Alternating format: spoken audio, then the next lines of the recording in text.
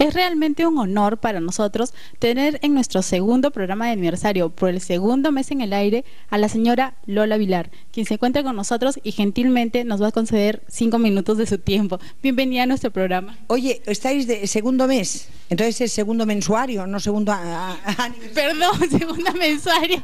Yo en el programa mío estoy en el séptimo mensuario también. estoy feliz de estar con vosotros realmente.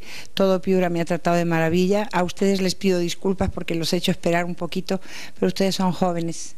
Así que eh, les agradezco mucho la espera. No, al contrario, es un honor para nosotros. Señora Lola, cuéntenos un poquito, ¿cómo llegó usted al Perú? Bueno, yo llegué al Perú hace en el año 62, o sea, hace 32 años llegué al Perú porque me trajo mi hermano Pepe, que en paz descanse. Entonces vine a hacer una telenovela aquí que luego no se hizo y me quedé perdida, abandonada y olvidada. Luego ya me uní a una compañía de teatro y nos fuimos a la Argentina, Bolivia y, en, esa, en esa gira me hice novia de Leonardo, que por cierto mi marido Leonardo se me declaró aquí en Piura. Eso, sí, teníamos conocimiento. Sí, de eso no, no, no os perdono. Si no venimos a Piura en una de esas, pues no se me declara y ahora estaría yo libre y feliz. Entonces, eh, cuando yo me quedé en la Argentina, yo ya firmé un contrato allí para actuar, pero llegó la Navidad y mi hermano Pepe fue a buscarme, me dijo, ven, que voy a hacer teatro en Lima. Eh, nos vamos a necesitar, qué tal, qué cual. Bueno, total, me convenció. Y regresé al Perú y entonces Leonardo aprovechó y siguió. Y dicen que el que la sigue la mata. Me rindió por cansancio, me casé y me quedé. Se quedó en el nosotros felices.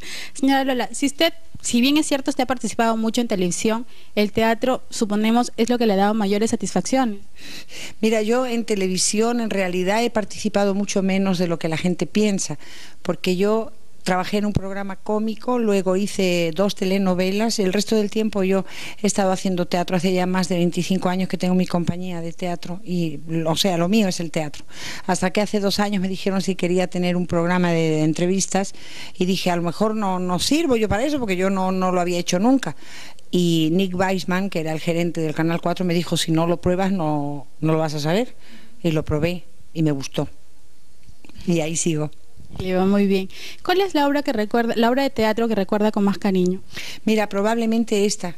Esta obra para mí tiene recuerdos muy importantes porque hace 30 años yo la estrené y mi hermano Pepe, que en paz descanse, hacía el papel de mi hijo. Y ahora al cabo de los años la he repetido con mi hijo y es una obra que siempre me ha traído muchas satisfacciones.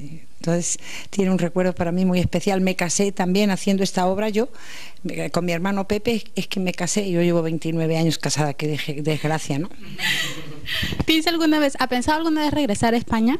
Bueno, eh, yo regreso casi todos los años a España, pero de vacaciones, porque yo mi casa la tengo aquí, mis hijos están aquí, aquí está mi hogar y aquí tengo enterrados a mis padres y a mi hermano, o sea que tengo unas raíces bien profundas echadas acá. Entonces voy a España, porque España siempre es pues donde uno nace, siempre hay un cariño muy especial, pero voy allí de vacaciones, pero vivo aquí. Una pregunta que nosotros siempre nos hacemos es cómo hace para dividir su tiempo entre su programa en televisión, las obras de teatro y ser madre de familia, esposa. Mira, yo creo que cuando los hijos están grandes, como mis hijos, y ya eh, un poco es bastante cómodo en realidad porque ya cada uno tiene su rutina hecha, ¿no? Pero de todas formas, fíjate, mi hija, ahora por eso mi hijo en escena pedía que, porque mi hija está trabajando en los de arriba y en los de abajo, y mi hijo en Gorrión. Entonces, eh, como he nombrado los de arriba y los de abajo, me, su comercial también para él, pero en realidad es fácil, yo me levanto a las 6 de la mañana, eh, me alisto, dejo ya preparado lo que hay que, bueno, listo, ya digo lo que van a hacer de almuerzo, todas esas cosas, me voy al canal, regreso a casa, hago almuerzo con mi gente, con los que pueden llegar, ¿no? Porque a veces también los horarios son distintos. Luego en la tarde, eh, si no tengo teatro, pues aprovecho, leo, escribo. Ahora en, en noviembre sale mi libro. Ah, un libro. Miren, es una gran sorpresa para todos nosotros. En la Feria del Libro sale simplemente. Ha sido un honor para nuestro programa Estilo Propio. Con su presencia ha realzado estos dos meses en el aire. No sé si le puede mandar un mensaje a toda la juventud piurana. Mira, yo le mando una juventud, uy, una la juventud, ves el que tiene boca se equivoca. Yo le mando un saludo siempre a, la juventud. La juventud eh, no voy a caer en la brillada frase de ustedes tienen el, futuro en sus manos, pero en realidad no hay otra forma de expresarlo. La juventud tiene el futuro de nuestro país y del mundo en sus manos. Entonces yo lo que sí le recomiendo a la juventud es que se acerquen un poco más a Dios, se alejen un poco también de demasiadas diversiones, porque en la vida hay que trabajar y hay que trabajar duro. Yo particularmente cuatro veces he arrancado mi, carrera de cero entonces, el tesón, la constancia, el cariño, el no hacer jamás a los demás lo que no nos gusta que nos hagan a nosotros, creo que son pasos por los que todos debemos caminar. Que Dios os bendiga y termino como he empezado, diciendo que ustedes tienen una gran responsabilidad en sus manos.